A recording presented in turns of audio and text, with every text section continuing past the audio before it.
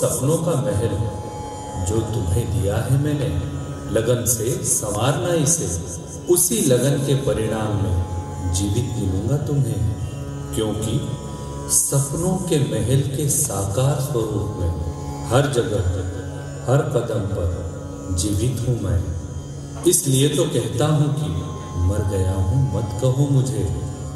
सत्य कहता हूँ, विश्वास करो मेरा, कि जीवित हूँ मैं। जीवित हो गए जीवित हो मैं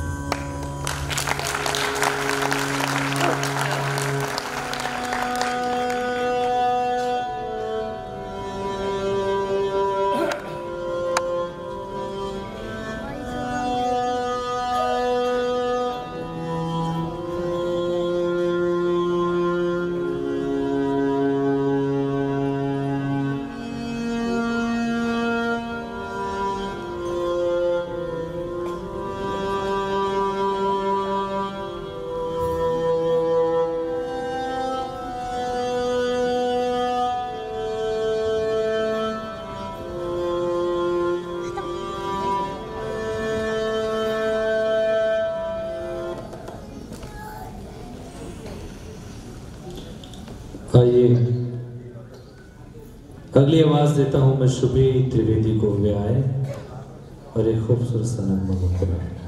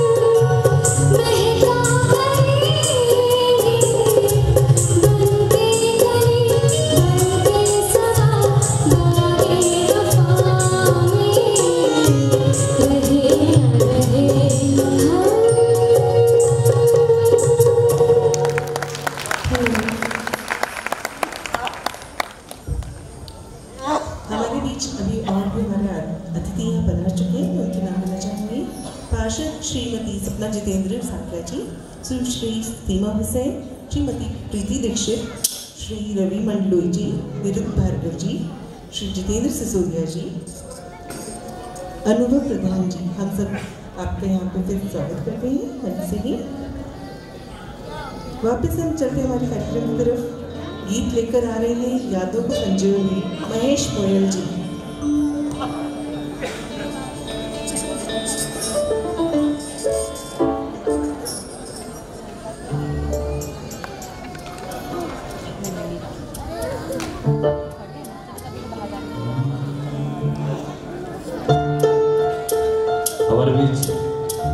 शहर के बहुत वरिष्ठ कलाकार शिव वर्धनिया जी मौजूद हैं। मैं गुजारिश करूँगा प्लीज़ स्थान ग्रहण कर आइए शिव आइए प्लीज़ अरे आइए।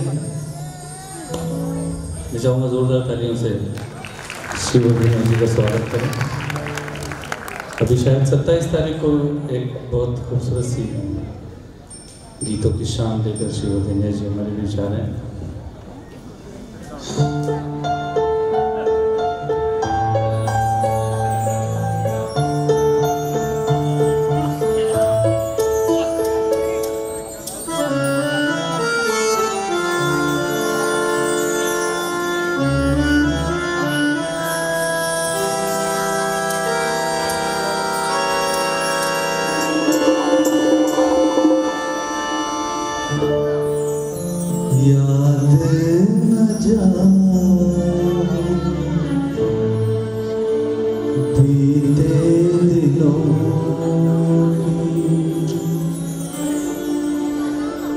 जाके ना जो दिन दिल क्यों बुलाए उन्हें? दिल क्यों बुलाए याद न जाए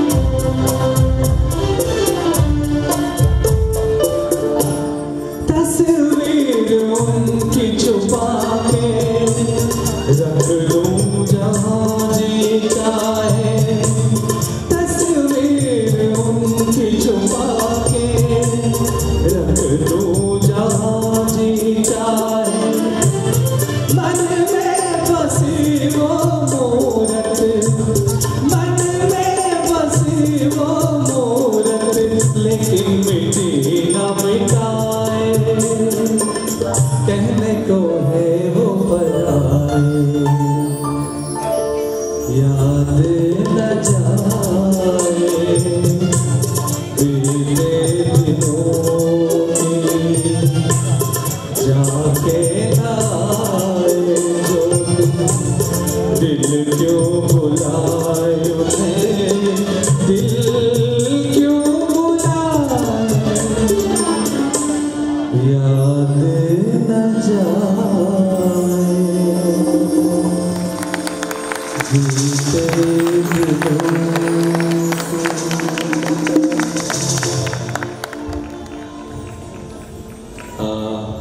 चलिए, कुछ बच्चे बड़ी बेसब्री से इंतज़ार कर रहे हैं, जो आपके, हमारे इस शेर का नाम सारी दुनिया में रोशन करने वाले हैं। और जिनको मंच दिया, खोजा, Pragati social and welfare society ने। और स्वर्गीय नितिन सक्सेना अलंकरण से आज वो सम्मानित होने जा रहे हैं। दस तारीख को हम लोगों ने कॉम्पिटिशन किया था। और उन बच्चों को आज इस मंच पर जगह दी नितिन सक्सेना अलंकरण समारोह में। आइए, एक बहुत महत्वपूर्ण कार्य हम करने जा रहे हैं उन बच्चों को सम्मानित करने जा रहे हैं। मैं सच, सचिन भाई से गुजारिश करूँगा प्लीज़ में आए और सभी बच्चे बड़ी बेसब्री से इंतज़ार कर रहे हैं क्योंकि हमने अभी तक अनाउंस नहीं किया था कि कौन फ़र्स्ट आया कौन सेकंड आया। आदरणीय जितेंद्र मंडावरा जी से मैं गुजारिश करूँगा कि वे प्लीज़ मंच पर आए।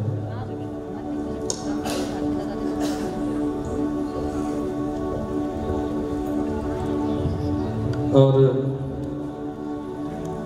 Pragati social and welfare society ने जो कॉम्पिटिशन रखी थी, उसके ए ग्रुप के विनर्स का नाम मैं यहाँ पर लेने वाला हूँ। हमारे आदरणीय जितेंद्र जी के शुभ हाथों से उन्हें आज नितिन सक्सेना अलंकरण से सम्मानित किया जाएगा। और मैं चाहूँगा इतनी जोरदार तालियाँ उन बच्चों के लिए होना चाहिए। सबसे पहले ग्रुप ए के कॉन्सलेशन प्राइज के लिए। मैं तन्मय छोटा सा बालक है, तन्मय।